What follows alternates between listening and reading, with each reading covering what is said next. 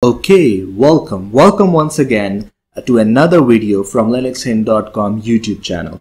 So in today's video, we are going to talk about Emacs Lisp. So Emacs Lisp is a dialect of the Lisp programming language used as scripting language by Emacs text editor. Okay. So it is used for implementing most of the editing functionality built into the Emacs and uh, Emacs is also uh, called as eLisp although there is an older unrelated Lisp dialect with that name is available as well. So the users of Emacs commonly write Emacs Lisp code to customize and extend Emacs. Okay, so the other options include the customize feature that's been in GNU Emacs since version 20. So this version, I think it's 24 point something. All right. So itself written in Emacs Lisp, Customize provides a set of preference pages, um, allowing the user to set options and preview their effect in running Emacs session. Okay. So when the user saves their changes, Customize simply writes the necessary Emacs Lisp code to the user's configuration file, which can be set to special file that only customize uses to avoid the possibility of altering the user's own file okay?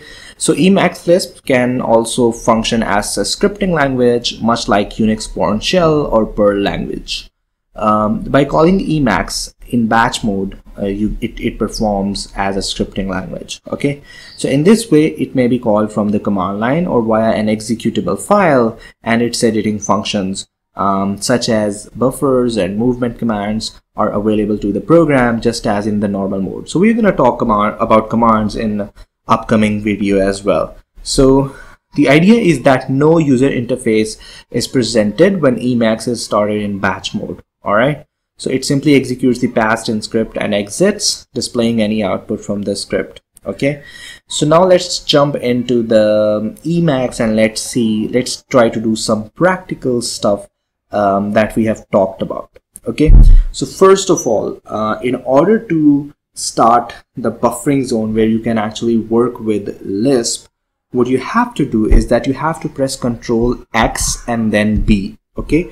So when you press control X and then B it would show you something like this okay? So let me just uh, write in a text editor separately uh, so that uh, you could identify that what I have pressed. So I have pressed Control plus X and then I have pressed B. Okay. So after pressing it, you would see something like this, switch to buffer. Okay. So now what you've got to do that you have to hit enter. So when I hit enter, so now I have entered this kind of window where you see if, if you're familiar with Lisp, uh, you can tell that these two lines are the comments okay? So whenever you're going to write a comment you you need to put two semicolons and then you basically start writing uh, whatever the comment is okay? So the idea is that uh, in here uh, you can perform different kind of uh, functions uh, functionalities. So uh, the first example that we're gonna do is this one. So let's say that if we want to solve uh, some kind of arithmetic uh, problem okay?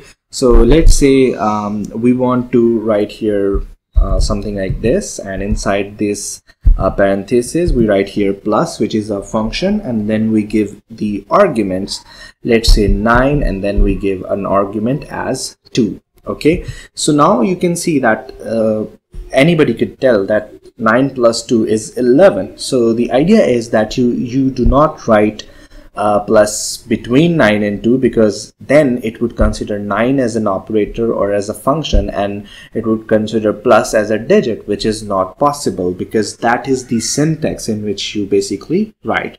So that is our basically a first small uh, Lisp program you can say. So in order to run this program what you have to do you have to press control X and then control E okay you press that and then you can see here we have the result which is 11 okay? So let me just control X and control E again. You can see here we have 11 on the output. So you can give basically th three arguments as well. So if you write here 4 okay so now if you press Control X and Control E you can see that this is the result right here. So one more thing uh, if you if your cursor is like here so now if you press Control X Control E it would give you this 2 on the output. Okay so make sure um, that your cursor is at the end of this entire function because in that case it is going to um, basically uh, call this function and run this function okay? So let's say uh, if we want to do the subtraction then we do the same thing. We come out of it. We press ctrl x and e. You can see that 9 minus 2 is 7 okay? Uh, you can also do the multiplication here. Uh, so you can see that we have 18 on the output okay? So 9 multiplied by 2 is uh, basically 18 so if we remove this as well and if we put here this sign this means division. And if now if I do control X control E it would give us something like 4 so it would not give us 4.5 which is the exact answer because it gives you the result in integer. Okay? So uh, you can also take the uh, modulus by putting in the percentage sign so after putting in the percentage sign, now if we run control X control E, you can see that basically it gives us 1 which is the mod, which is the remainder basically. Okay. So this is how you perform the arithmetic functions. So there is another uh, thing that you can do as well. Basically, if you want to print something like hello world, then in that case, what you've got to do, uh, let me just comment here, uh, print function and uh, if you want to print something then you just have to write here um, you know brackets. And inside of the brackets you have to write here uh, message. And then inside the double quotes you're gonna write here hello world. Okay?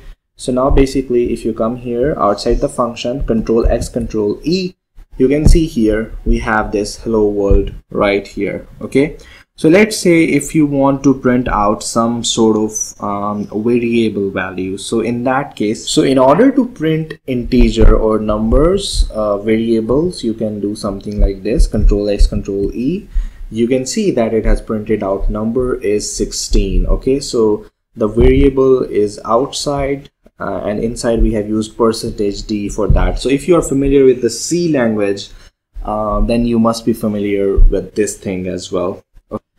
So if you want to work with the strings, so you just have to write here percentage s and um, you can just write here name is or string is and in here you can uh, write down any string variable or a string uh, a literal string.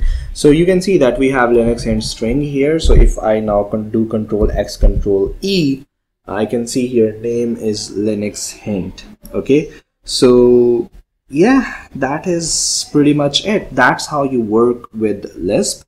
Uh, there is another small example that you can do as well uh, and that is basically uh, if you want to list any of the lisp expression then in that case what you have got to do is that you can do here like my list is in that case you're just going to put um, you know the capital S okay instead of small s. So right? And then you just write here the list. So you write parentheses and inside those parentheses you're gonna write here list. Um, then you write here 8 3 4 okay?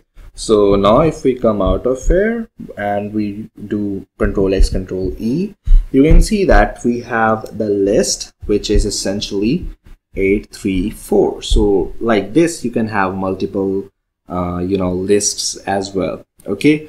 So yeah that's pretty much it. And uh, before going I'll like to show you another example a small example. So let's say if we want to get rid of this toolbar mode. So we can get rid of this toolbar mode by using um, you know Lisp uh, language in the Emacs as well. So we write here tool bar mode.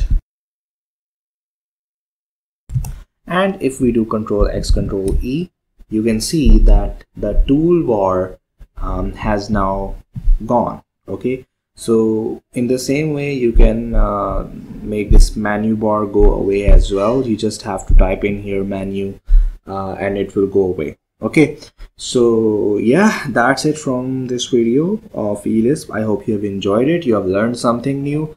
For written articles you can keep visiting our website linuxhint.com and for uh, further uh, free courses and for free stuff for free videos uh, stay tuned on this channel and subscribe to this channel please. Thank you very much